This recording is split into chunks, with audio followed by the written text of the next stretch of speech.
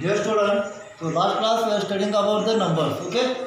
So in number section we are studying one digit number, two digit number, and three digit number. Okay. So in one digit number, only one number is consistent. in two digit number, two number, two digits are consistent, and three digit number, there are three digits are consistent. In a one number section or in one digit number, the biggest number is 9 okay? And in section of two digit number the biggest number is 20 sorry the biggest number is 99 okay? In 99 and 100 what is the difference between 99 and 100 okay? In 99 we see that 99 consists only two digits 9 and 9 okay? And 100 number is consist three digits 1 0 0 okay? So these are the three digits. So in section of one digit number, the smallest number, okay, 99, and the biggest number is sorry, the uh, smallest number is 10 and biggest number is 99.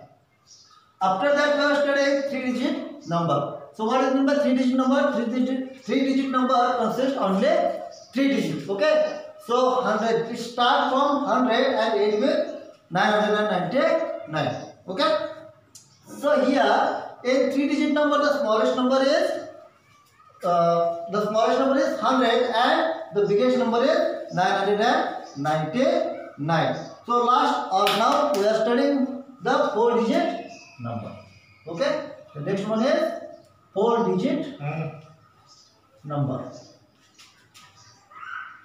so here what do you mean by four digit number four digit number means what here in this number the four digits are consistent okay in this number or the four digit number consistent how much no digits the four digits okay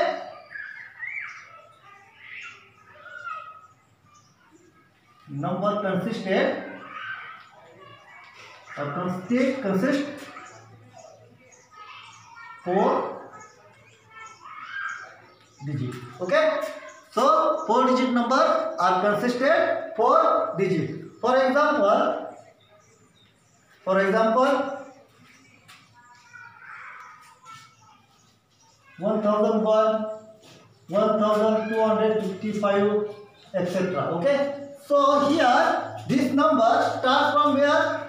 Here we are seeing the biggest number is which one? In 3 digit number that is 999. After that we have to say 1000 okay?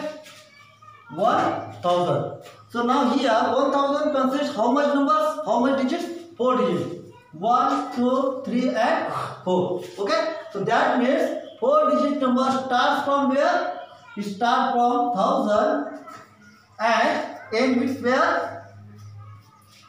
End with 9999 okay that means what that is me that means the smallest number is which, which one?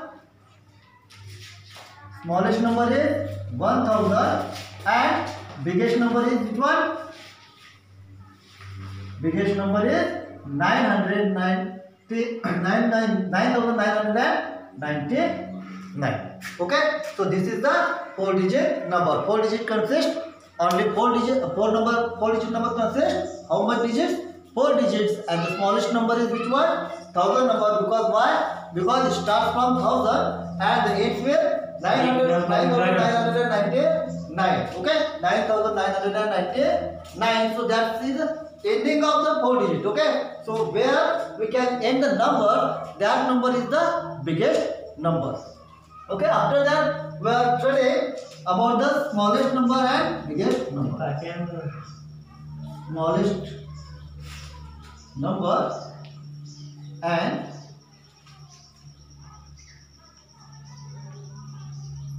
biggest number.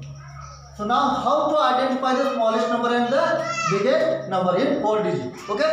So last uh, lastly in the definition I asked what I said that so it start from four digit number starts from where? Four digit number starts from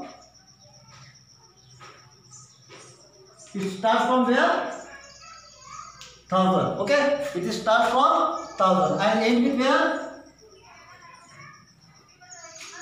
end with 9999 okay so in 9999 why it is the biggest number because this number this four digit number are ends with this 9999 so this is the biggest number so now how to identify this one the which number is the biggest number and which one is the smallest number so here we have to see or we are getting four numbers okay 200 sorry 2525 1343 mm, 6800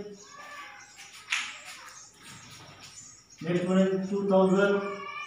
is 2823 okay so these these are the four numbers we are getting here taking four numbers so now here which number is the biggest number and which number is the smallest number we can identify here so now just we can identify or we can think about the place the place values okay so last last year we last year we are studying the places okay there are nine or so many places in section so in math so first one is one two three four okay that that means here this one is the thousand case okay thousand place okay so here